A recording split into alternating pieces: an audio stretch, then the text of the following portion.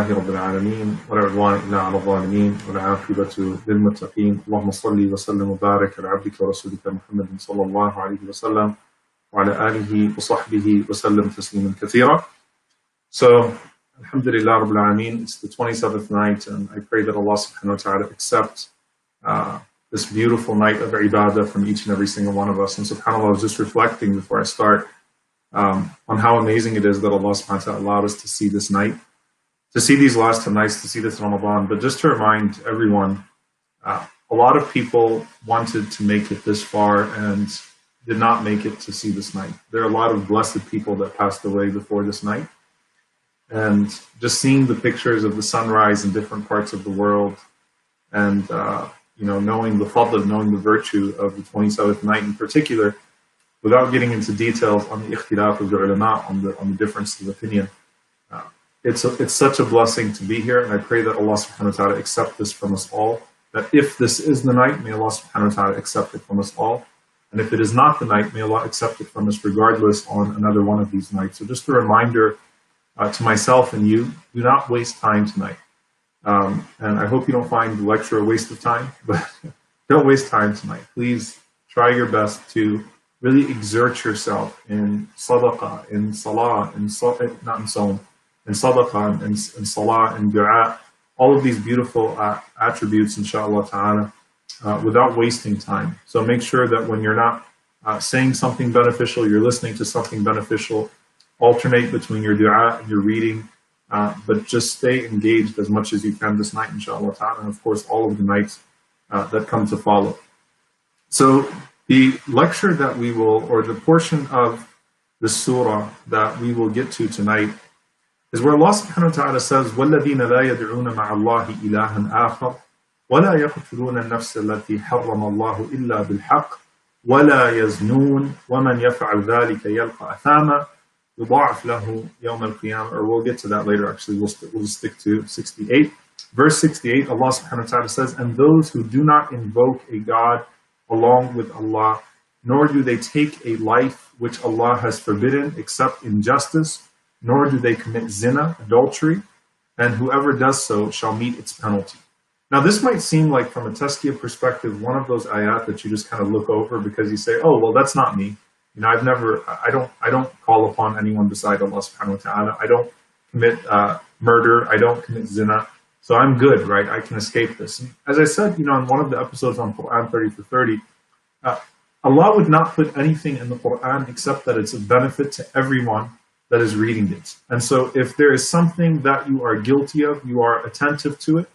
If there is something that you are not guilty of, then you are also attentive to it because you ask Allah for protection and you seek refuge in Him and you pay attention to the lessons learned on how people fell into those places. So don't just gloss over this and then go to the other parts of the surah. And there's actually something very profound about this being included in Ibadur Rahman because when you're talking about Ibadur Rahman, you're talking about a bunch of do's. What is it that Ibadur Rahman do? They do, you know, they, they, they walk with humility. They have incredible, impeccable character uh, with people that have no character with them whatsoever. They pray Qiyam late into the night. They spend with moderation. They're not stingy, nor are they extravagant, but they spend wisely. And so it's a lot of what they actually do and not much of what they avoid. But that's actually a very profound point when you think about the way that Allah subhanahu wa ta'ala puts this smack in the center of the description of Ibad al-Rahman. And some of the scholars say that just the fact that there's a portion that's inserted in the middle uh, right here about what Ibad al-Rahman don't do is to indicate that these are people that do not live a life of contradiction. These are people that do not live a life of contradiction. Sometimes you find very, you know, seemingly very righteous um, people, and because you, you have these seemingly righteous people that uh, pray, that, that carry themselves with, with such uh, grace and such, you know, such beauty in, in, the public space, sometimes they're deceived and sometimes they're deceiving. And the Prophet ﷺ talked about the hypocrites, and he said that one of the things about the hypocrites is that they pray, they fast, they do all of these actions that allow them to be looked at in a certain way.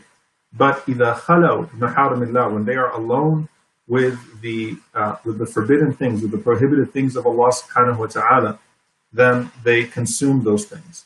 Uh, so they look to, you know, they, they consume these things in a, in a very uh, blatant way, as if there is no shame uh, with these things. And the Prophet wasallam said, uh,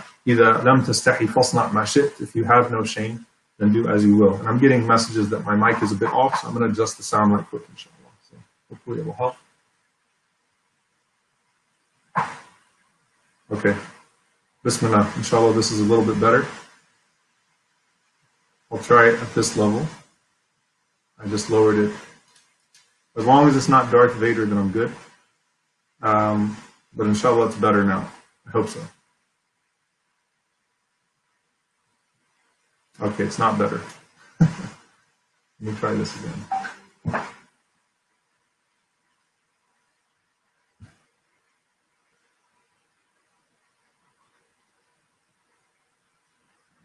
Okay. I'm to try this again and hope it's not an echo. And if it is, then I might just switch mics. Is the voice clear now?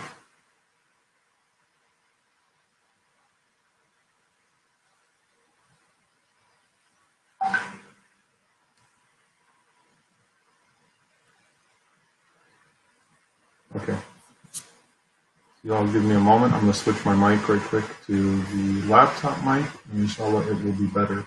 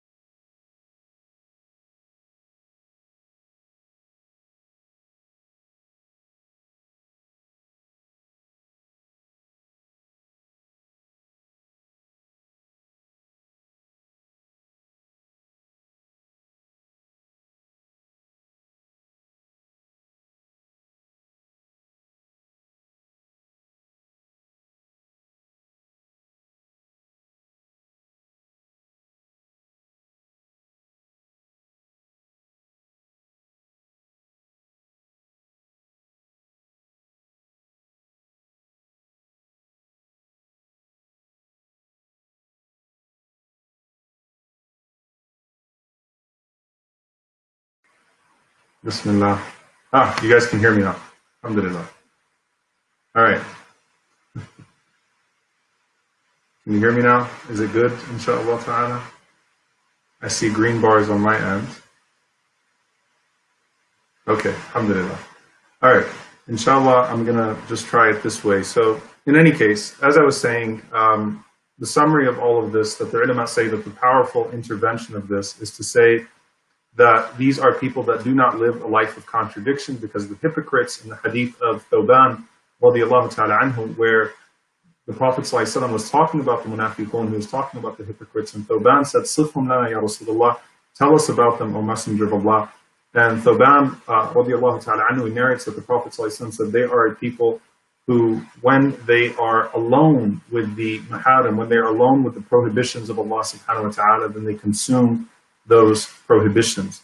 So anyway, I'm going to get back to this inshallah ta'ala. Let's go into the details of this. وَالَّذِينَ لَا يَدْعُونَ مَعَ اللَّهِ إِلَهًا آخَرَ those who do not call upon a Lord beside Allah subhanahu wa ta'ala. So Allah Azza is speaking to a very specific uh, portion or element of Tawheed, the very element of monotheism. Why? Because this is a Meccan society where they associate partners with Allah subhanahu wa ta'ala in different ways. Okay? So to call upon Allah subhanahu wa ta'ala, the Prophet sallallahu alayhi wa says, Ad-du'a huwa al-ibadah. Supplication is worship. Dua is ibadah. And at the end of the surah, the, the very last ayah, قُلْ مَا يَعْبَأُ بِكُمْ رَبِّي لَوْلَا دُعَاءُكُمْ Say that my Lord would not take note of you had it not been for your dua. And dua here, as Ibn Abbas ta'ala anhuma says, dua here means ibadah as a whole. So the word dua covers so much more than supplication, but supplication is at the core of, uh, of dua. Uh, Allah subhanahu wa ta'ala also, by choosing these sins in particular, to say that ibadur rahman are not guilty of these sins, Allah subhanahu wa ta'ala is pointing to something that's very important, which is that the believer will fall into minor sins, but they won't insist upon them.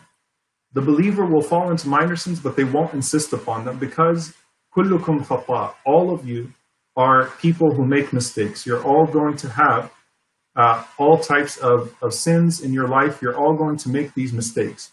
But the best of you are those who repent. So when Allah subhanahu wa ta'ala says, الَّذِينَ يَجْتَنِبُونَ كَبَائِرَ الْإِثْمِ وَالْفَوَاحِشِ إِلَّا اللَّمَمْ Allah subhanahu wa ta'ala says, those who avoid the major sins and the shameless sins, except for al except for the slips, except for the minor sins that we commit throughout the day.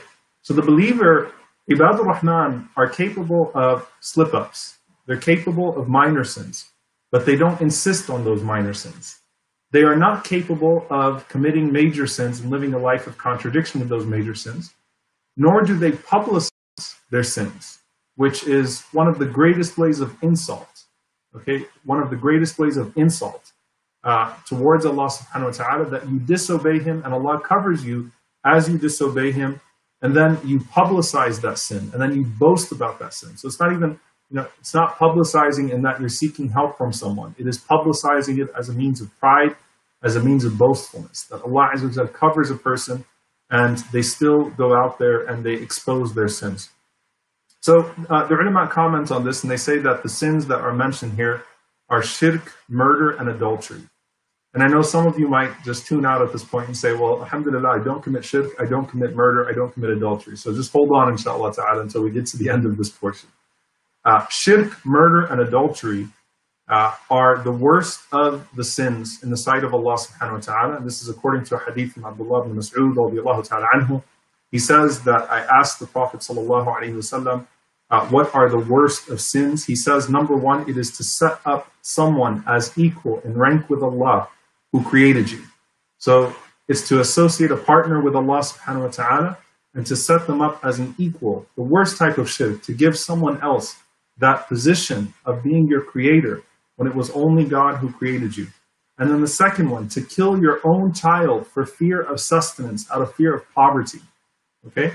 So the worst type of murder, such a filthy type of murder, because of the implications of it, is that you kill an innocent child. You kill your own child out of fear of uh, out of fear of poverty. So subhanAllah, there's a lack of rahmah. There is a lack of, uh, of connection to Allah subhanahu wa ta'ala. There's so much. There's a lack of, of understanding where rizq comes from. There's so much that comes from this. And then the third one is to commit adultery, to commit zina with the spouse of your neighbor, with the spouse of your neighbor. So these are th- those three sins to their worst outcome. Okay, those three sins to their worst outcome. Allah mentions shirk to its worst outcome. Allah mentions murder to its worst outcome. Allah mentions adultery to its worst outcome, right? To commit adultery with the spouse of your neighbor, uh, zina is bad enough. Your neighbor has rights upon you. And so to go to that extent is, uh, is of the worst uh, sins in the sight of Allah subhanahu wa ta'ala. The scholars also say that Allah subhanahu wa ta'ala is calling, is speaking to the conscience, the conscience of those people in Mecca, to the pagans, because these are all things that though they were guilty of, they knew were blameworthy. Okay, they knew were not traits that were noble. It's very important. You know, if you read in, in um, I think, a good history of this in Tafhim al-Quran, uh, the, the, history of, of Mecca, the history of the people of Mecca, and how they actually looked at their idols. They didn't perceive their idols as having much weight. Uh, they didn't actually care much about their idols. Their idols were products. Their idols were their inventory. When things actually went wrong, uh, or when they were actually in genuine fear, they invoked Allah subhanahu wa ta'ala. They called upon Allah alone. When Abraha invaded Mecca, Quraysh did not invoke other than Allah. They didn't invoke the idols to save them from Abraha or save the Kaaba from Abraha. They invoked Allah subhanahu wa ta'ala. And that's why Allah subhanahu wa ta'ala says, وَإِذَا غَشِيَهُمْ مَوْجٌ كَالظُّلَلِ دَعُوا اللَّهَ مُخْلِصِينَ لَهُ الدِّينَ That these people, they are in the ocean and they are covered by the darkness of the night and the dark waves start to crash uh, into the boat, into the ship, who do they call upon? They call upon Allah subhanahu wa ta'ala. They know their idols have no weight. And so they would switch out their idols as they pleased. Uh, they would say, you know, I don't like the way this idol looks anymore, so let me bring a new one. They would accessorize them as they please. They would buy and sell and trade their gods. So Allah subhanahu wa ta'ala is calling attention to the fact that when you are in trouble, who do you call upon? Who do you naturally call upon? Even those pagan Arabs that were fighting the Prophet ﷺ for his monotheism, when things were difficult, they called upon Allah. They called upon God. And they knew zina was not noble. They knew that zina, adultery, was far from nobility, though they were guilty of it. So you have the story of, of the idols whose images uh, had been placed at Safa and Marwa, which were a man and a woman that committed zina inside the Kaaba and were turned into uh, into stone by Allah subhanahu wa ta'ala as punishment. And so they disgraced these two. They mocked them. They knew that zina was uh, a lowly trait, even though they were guilty of it. They were regularly guilty of it, right? There was there were all types of uh, zina type agreements that the Arabs had. You know, uh, you know, you talk about early, uh, you know, the early practice of uh, of exchanging spouses, exchanging wives, and uh, and and a person even you know committing incest, and a person um, committing zina with their own children, their own mothers, their own. These are things that existed that were prevalent in their society, but they knew they were lowly and they knew that they had no benefit to them as individuals or society, and they knew that murder was wrong. Even as they committed acts of murder and they killed people for, for petty reasons, they knew that these were not noble traits. So Allah subhanahu wa ta'ala calls the disbelievers by saying Ibadur Rahman are far from these things. They don't live lives of contradiction. And this is the impact, this is the societal impact of a people that honor God in their lives. This is what happens when you have a society of Ibadur Rahman. There is rahmah to society. There is rahmah to society. There is mercy to society. People don't kill in the name of their idols. People do not uh, do not do not commit zina. Do not uh, you know, and in the process victimize uh, either the more vulnerable of the two committing zina and any children that might be born out of zina. People don't, you know, end up ushering in these horrible things into society. And, you know, one of the things to, that, that you can point to is that these three things, shirk, murder, and zina, uh, literally line up as the opposites to the first three of the major maqasid of the Sharia, the first three objectives of Islamic law. Number one, hifdud the preservation of religion, then the preservation of life, then the preservation of honor. And so when, when people betray these three things in their lives, then the societal impact is one in which there is no rahmah, there's cruelty, there is, uh, you know, there's disgrace, and that disgrace is brought both upon the one who is calling and the one who is being called upon, both upon the one who is murdering and the one who is being murdered. The one who is committing zina and those that would that would end up uh, you know bearing the impact or the consequences of that zina. The loss of innocence in society the loss of honor in society the loss of of a nasab, the loss of lineage in society the loss of protection the loss of safety the loss of spirituality the loss of harmony so Allah subhanahu wa ta'ala is saying you know ibadur rahman the goal is not to just have a few individuals that shine. The goal is to have societies that function with these noble ideals and that line up with the major maqasid, uh, which are the preservation of religion, uh, life, and honor. Uh, the scholars also mention here that these three things are all signs of the day of judgment from, from, from, the, uh, from the biggest of the minor signs of the day of judgment. Okay, of course, you have the major signs of the day of judgment, which are when the ons- as, as the day of judgment is literally at its onset. But then you have things that are signs of the ends of time. And uh, I'm actually going to add something to this, which is that it's not just shirk, zina, and murder that are prevalent uh, in the end of times, but it's mindless shirk and mindless zina and mindless murder. What does that mean? Uh, the Prophet ﷺ, when he speaks about societies descending into these three things once again, the Messenger of Allah والسلام, talks about an element of, uh, of normalization and an element of desensitization and an element of just mindlessness. Mindlessness. How? The Prophet ﷺ said that the hour would not come until you saw the uh, you know uh, the women of, of Daws, a tribe, an early uh, pagan tribe, literally committing their uh, you know their, their, acts of shirk around the Kaaba, um, you know, uh, which was a um, you know a promiscuous type of dance around the Kaaba. The Prophet said the hour would not come until you found people committing shirk literally around the Kaaba, in the same way that you know the, the Arabs at the time were committing shirk. It's mindless right? It's mindless. And so shirk becomes a party, right? It, it really becomes a party. So there's a, a regular, um, you know, a, a, regular disregard of God, a regular disregard of anything that has to do with the divine, open mockery of Allah, open mockery of anything that has to do with the divine. Nothing is sacred anymore. And because nothing is sacred anymore, then everything just becomes part of a, a material pursuit and uh, part of vanity right? So spirituality becomes part of vanity. And so people worship uh, not from a place of actual actual purpose, right, and finding purpose in that worship, but it's it's part of you know it's part of vanity. And so there's mindless shirk that the Prophet ﷺ is talking about towards the end of time, right? And then there is mindless murder. SubhanAllah, we see this everywhere now, everywhere now. The Prophet ﷺ said there would come a time where neither the qatil nor the maqtul, the one who is killing nor the one who is being killed, knows why the murder is happening. The person who's killing really doesn't know why they're murdering. And the person who's being murdered has no idea why they're being murdered.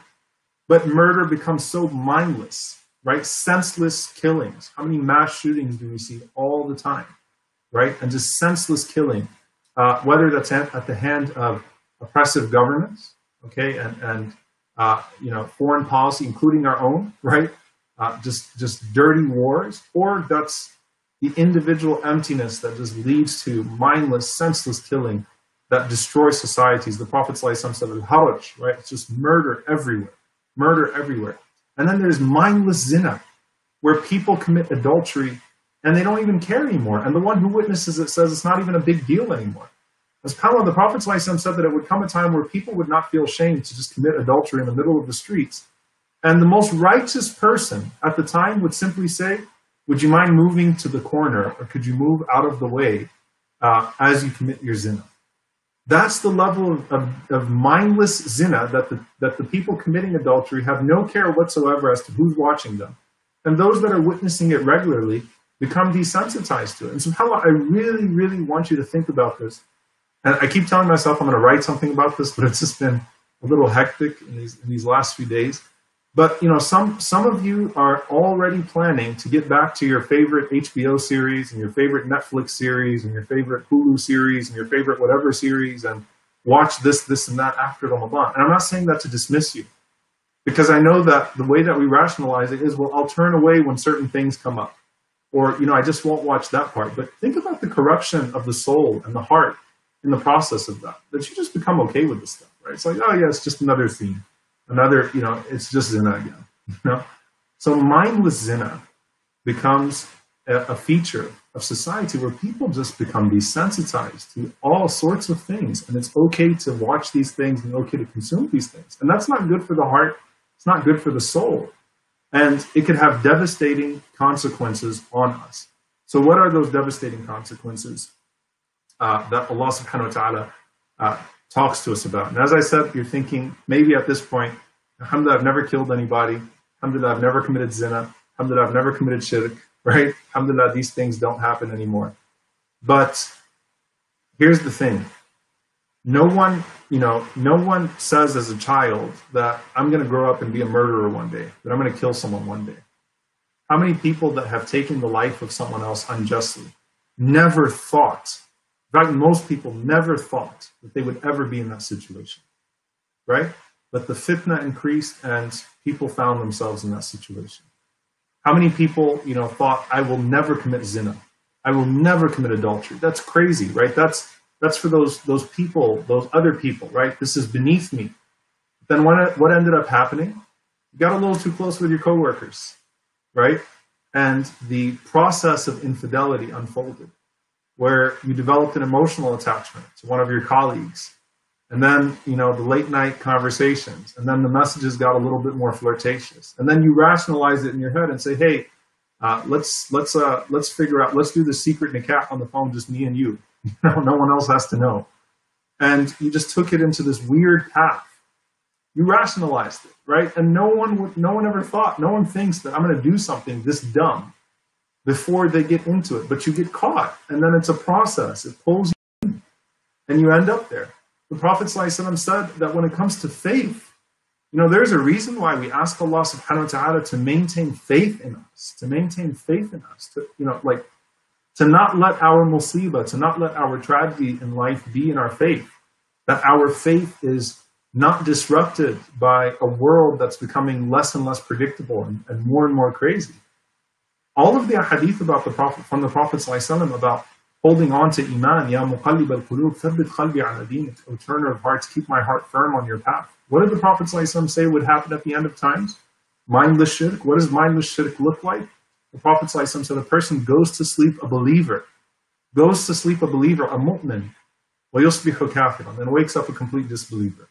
And then something happens during the day, they read something, they watch something, whatever it is, and you know what, I'm a believer again. And then, no, well, actually, no, not now right? So they jump between faith and disbelief, and that's a dangerous place uh, for a person to actually be.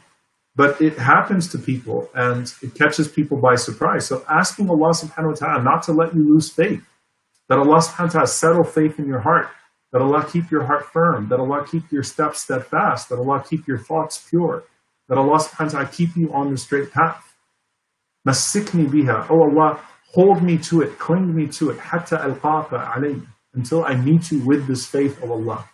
Keep me clung to this Islam. Keep me clung to this faith until I meet you with it. Make the best of my deeds the last of them, asking Allah for husn al-khitam, asking Allah for a good ending.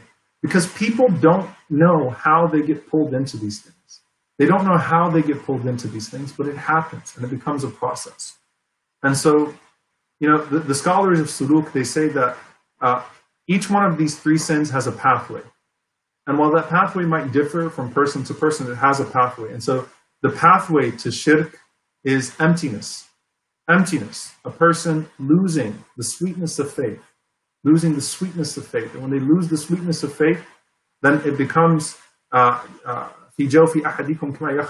it becomes like a worn out garment. And so it becomes old and it becomes it's not, it's not doing anything for you anymore. So you're not renewing your faith regularly. And so a person has emptiness and then they, they seek to fill that emptiness with other than Allah subhanahu wa ta'ala. And then a contradiction happens where, you know, whether it's an unhealthy dependence or it's just outright blatant shirk on with something other than Allah subhanahu wa ta'ala, I have to expel one of those two things from my heart and I choose to expel Allah subhanahu wa ta'ala. May Allah protect us all, right? So the point is, is that it's emptiness. Emptiness is the pathway there. Um, when it comes to murder, many of the ulama say it's anger. How many people commit murder in the heat of a moment? Right? Domestic violence crimes. SubhanAllah. May Allah protect us and protect our marriages and protect our families and protect our communities. How many people in the spur of a moment, in the heat of an argument, kill the most beloved person in the world to them? right, or, or, are violent with them, and then that violence unlocks the potential of a greater violence. Or, you know, in the midst of a moment, do something crazy and, and actually kill someone, hurt someone. And then what happens? I've got to hide that, and then they become murderers because Shaitan has unlocked that sin. But if a person doesn't learn to control their temper, they could find themselves in a situation where they become abusive, right? Let's put murder to the side. How many people think that one day I might be someone that would lay my hand on my spouse? you know, or, or hit my children violently, you know, like like actually inflict pain on my loved ones. No one thinks that when they're young. And most people, when things are good, think that could never happen to me. But somehow they snap. And so the mechanisms of ibad al-Rahman, of, of keeping ourselves guarded, of keeping ourselves guarded, protect us from going down that dark pathway. And then when it comes to zina, lust, lust, emptiness, seeking validation, right? it starts off with just flirting and, and you don't even recognize it until it's too late, right? And it just, you're letting these sparks fly and the fire, it just catches on fire at some point, right? And Allah subhanahu wa ta'ala says, you know, وَلَا تَقْرَبُ zina, don't even come close to it. right? Don't even come closer. Put a barrier between you and it. When you start to see some of those signs, back off. Don't put yourself in a compromising situation because you're going to end up falling, right? And so there are pathways to these major sins that Ibadur Rahman actively seek protection from Allah subhanahu wa ta'ala from. They don't belittle these things.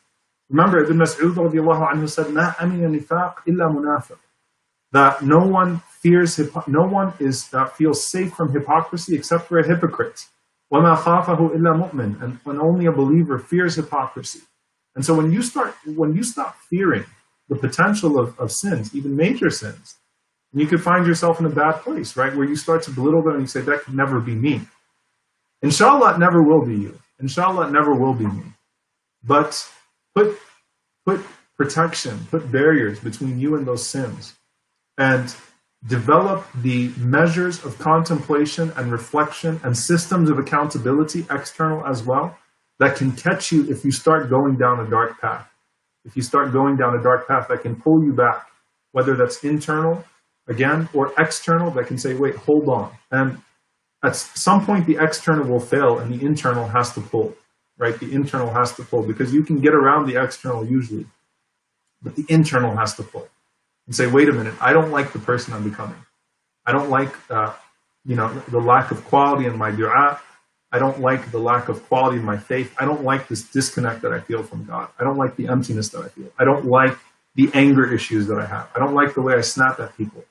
I don't like the way that, that, that I somehow feel the need that I always feel like I've got to flirt with, you know, everyone from a grocery store clerk to you know, a coworker to whatever it is, some random person on the internet. I don't like what I'm becoming. I don't like that I'm seeking validation from these places. By the way, please forgive me if any of this is hitting uh, too close. I, the last thing I want is for someone to make dua against me on the 27th night of Ramadan or to feel like I'm hitting at, at you.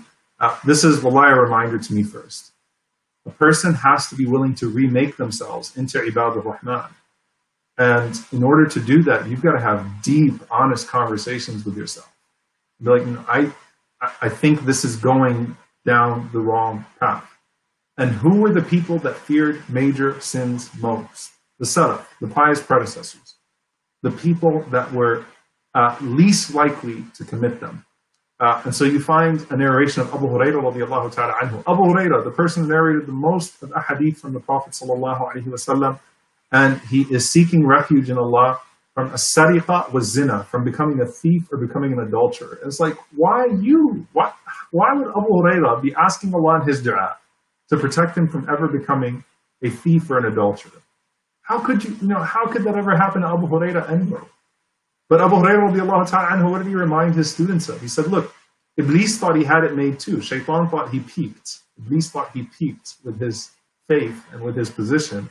And look what happened to him.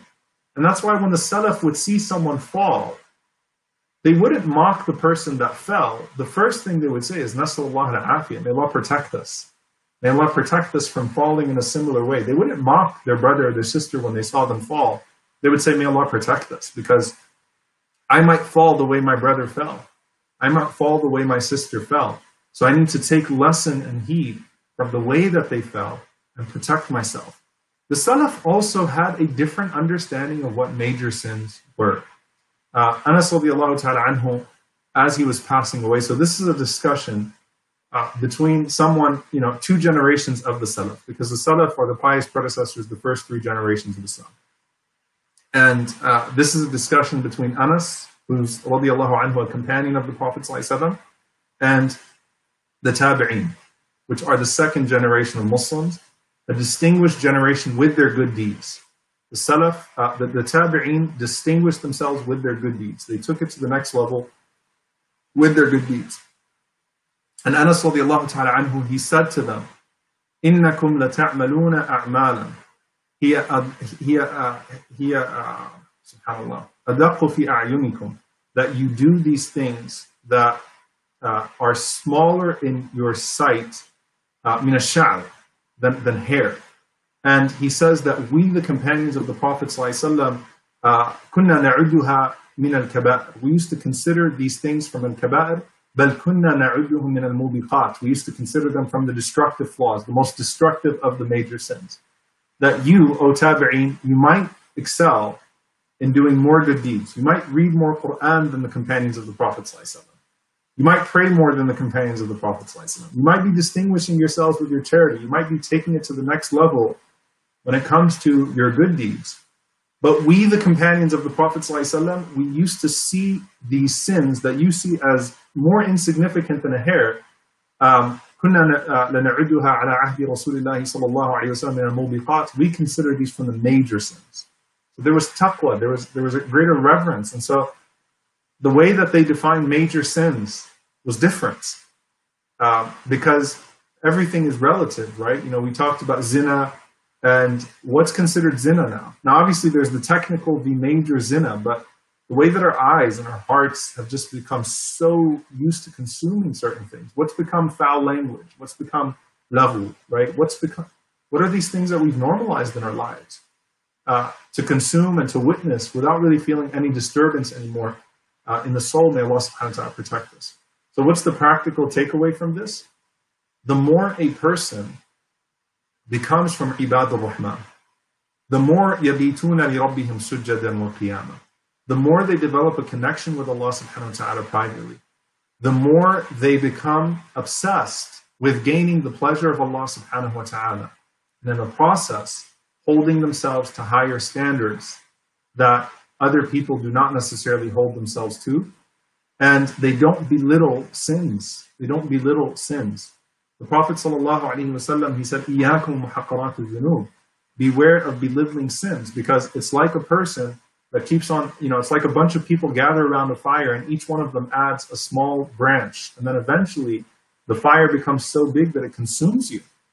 Imam al-Ghazali rahimahullah ta'ala talked about the, uh, the belittling of sins, the effect of belittling the sins on the heart. And he said, you know, it's like taking a stone and dropping a drip of water on the same part of the stone over and over and over and over again until it destroys it altogether. It completely ruins it. So be careful. Don't belittle sins. And the greatest way that we belittle sins is that we accept them as normal parts of our lives. Whether those are the sins of the tongue, or the sins of, uh, of, of, uh, of our actions, the sins of the eyes, the sins of the body, the sins of uh, the feet, the sins of the ears, the sins of, of, of, you know, all of these different things, the sins in regards to our deficiencies in ibadah, we just accept them as parts of our lives. This is just me. All right. So I just commit this sin and I do this sin and it's, it, you know, it's not that big of a deal. And Ibn Abbas radiallahu ta'ala anhu narrated, لا صغيرة مع الإصرار ولا كبيرة مع الاستغفار. That there is no such thing as a small sin when you insist upon it. When you insist upon it. And there is no such thing as a major sin when you seek forgiveness from it.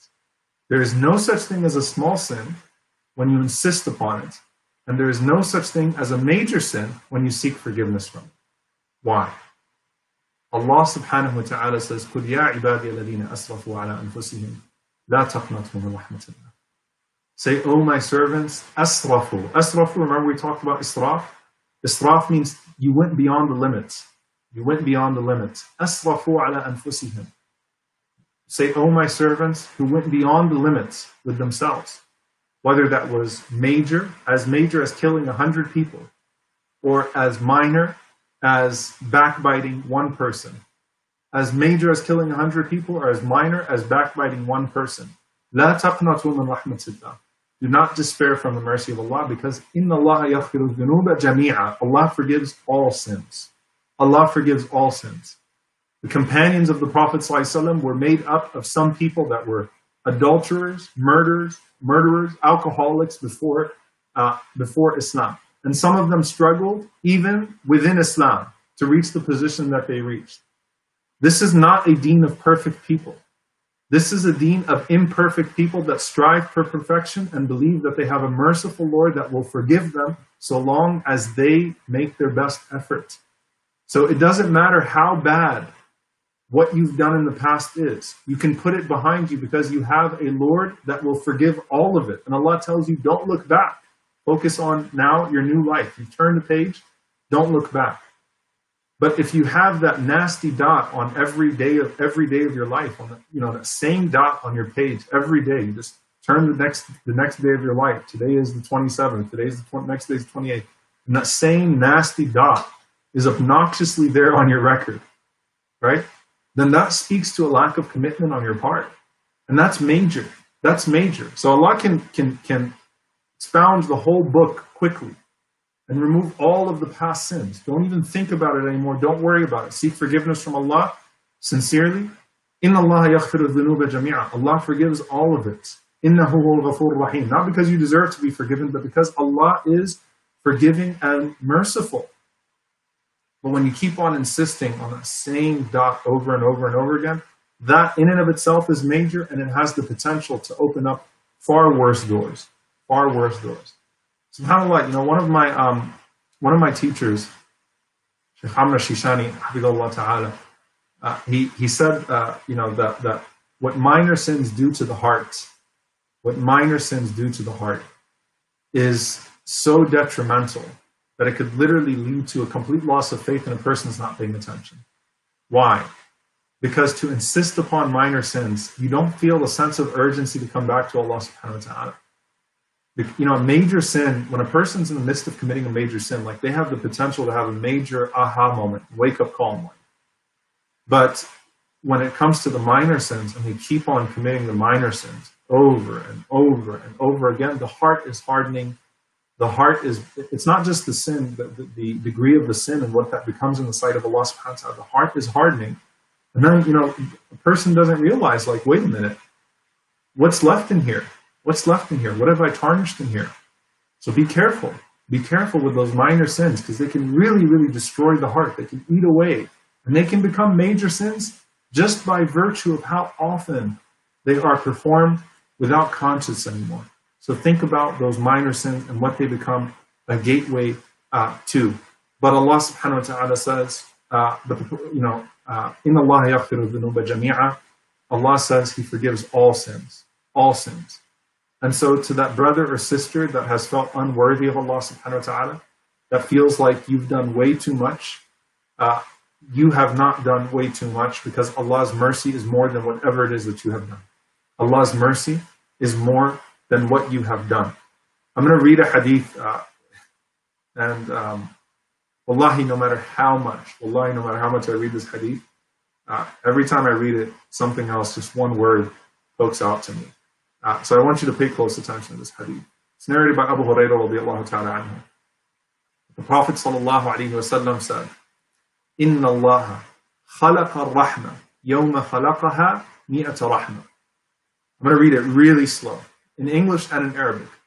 Verily, Allah created mercy.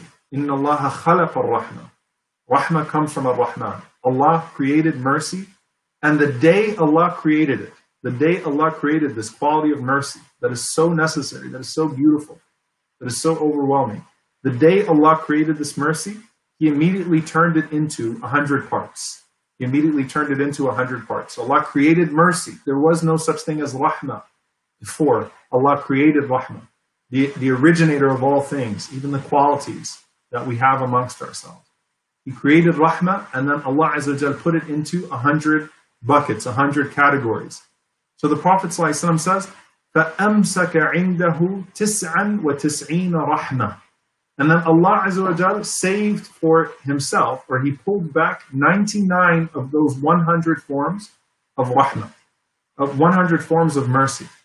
فَأَرْسَلَ فِي خَلْقِهِ كُلُّهُمْ كُلِّهِمْ رَحْمَةً وَاحِدًا And then Allah subhanahu wa ta'ala sent to all of his creation one part of mercy, one part of his mercy. Okay? خَلْقِهِ كُلِّهِمْ رَحْمَةً وَاحِدًا So all of the mercy that Ibadur Rahman are able to express, all of the mercy between animals, all of the mercy between the believers, all of the mercy between human beings, all of the mercy that is shown, the mercy of a mother to her child, the mercy of a prophet to his people, all of that mercy comes from that one bucket of mercy, that one category of mercy that Allah subhanahu wa ta'ala revealed and sent down to us. And then the Prophet sallallahu alaihi wasallam said, because this is the effect of this. So what does it mean that Allah has saved 99 mercies for the day of judgment, for the hereafter? Allahu Akbar. What does it mean that Allah saved them? The Prophet ﷺ said, فَلَوْ يَعْلَمُ الْكَافِرُ بِكُلِّ الَّذِي عِنْدَ اللَّهِ مِنَ الرَّحْمَةِ لم ييأس من, من الجنة. SubhanAllah. So if the disbeliever was to know of all of the mercy which is in the hands of Allah subhanahu wa ta'ala, he would never lose hope of entering paradise. He would never lose hope of entering paradise. If the disbeliever was to know what those 99 forms of mercy are like, what Allah has withheld, what is what is two times the mercy that we know of look like? What does three times mercy look like? What does a hundred times that mercy look like with Allah subhanahu wa ta'ala? So the Prophet ﷺ said, even if the disbeliever were to know what those uh, what, what those 99 parts of that mercy was, he would not lose hope in paradise. But then the Prophet ﷺ said, وَلَوْ يَعْلَمُ الْمُؤْمِنُ بِكُلِّ الَّذِي عِنْدَ اللَّهِ مِنَ الْعَذَابِ لَمْ يَأْمَنْ مِنَ النَّارِ But if the believer was to know of all of the punishment which is present with Allah subhanahu wa ta'ala, he would not consider himself safe from the fire. This is the balance of hope and fear. Allah has, His mercy has overcome His wrath. His mercy has overcome his wrath.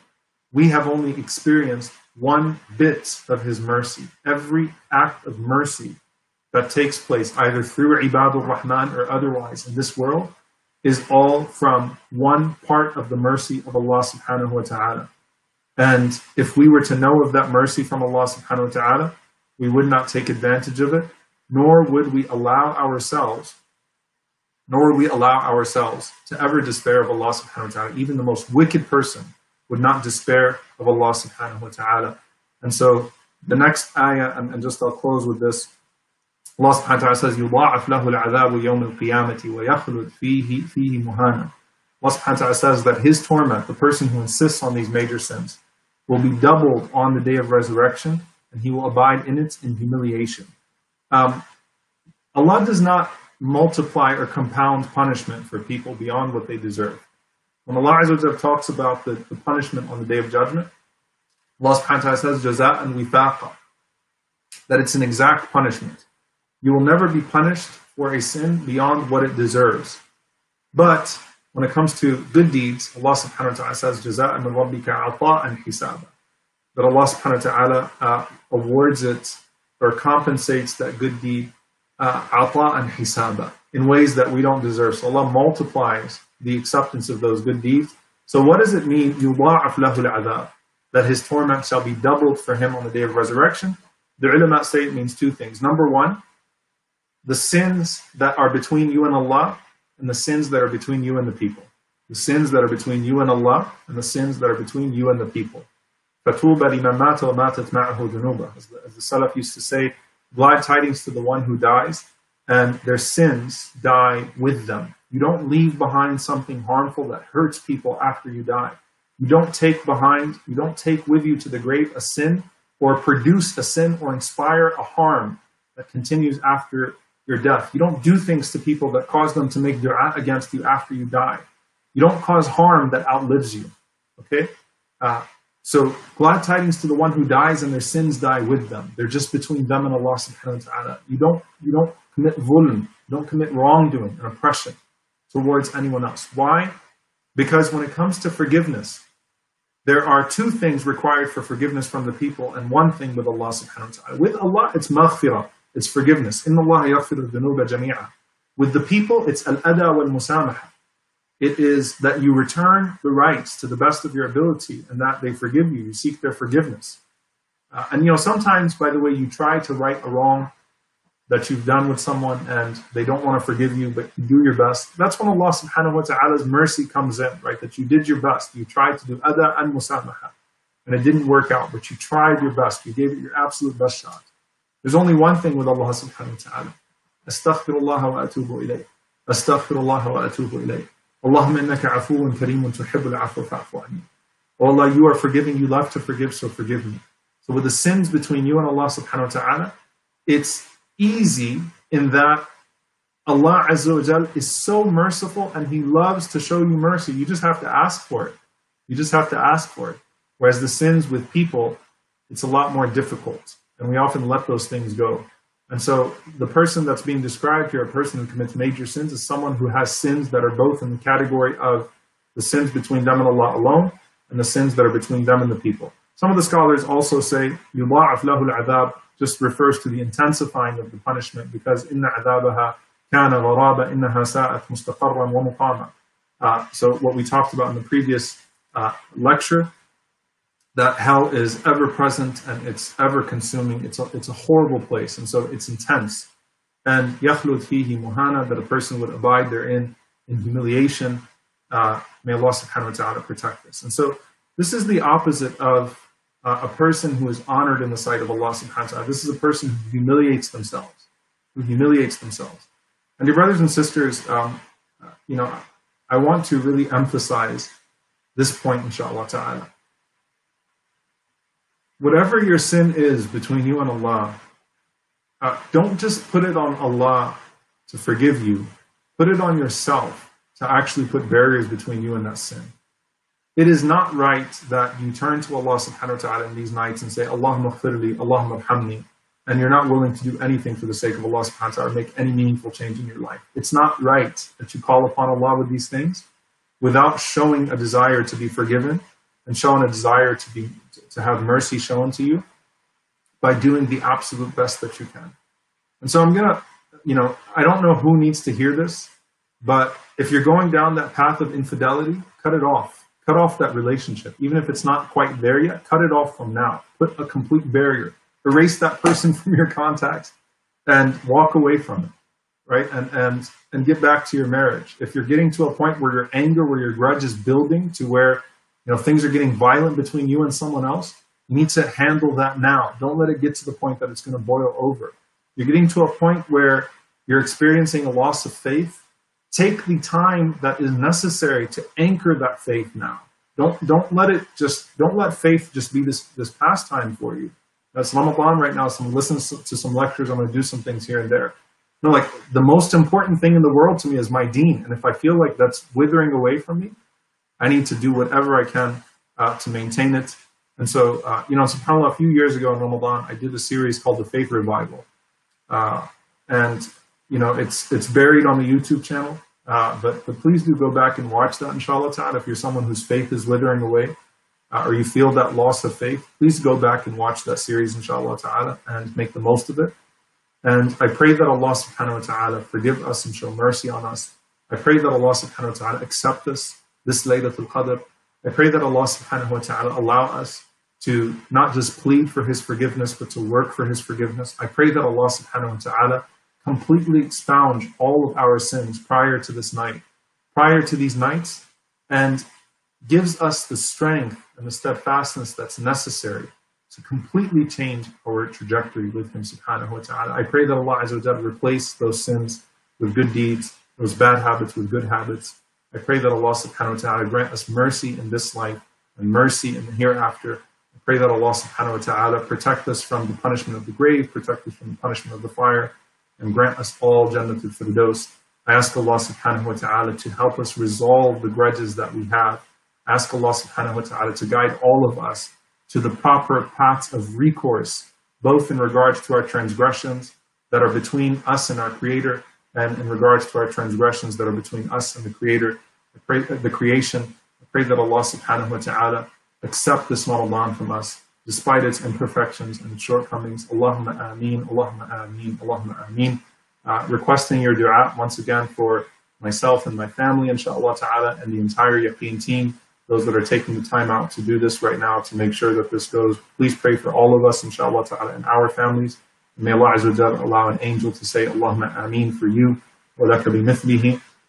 And inshallah ta'ala, tomorrow we'll talk about what it looks like to turn the page. Uh, so the next ayah is probably the most hopeful ayah in this entire sequence of ayat, which is when Allah actually replaces your sins uh, with good deeds and what the implications of that are. Jazakallah khairan, and I apologize for the uh, technical uh, lapse in the middle. Assalamu alaikum wa rahmatullahi wa barakatuh.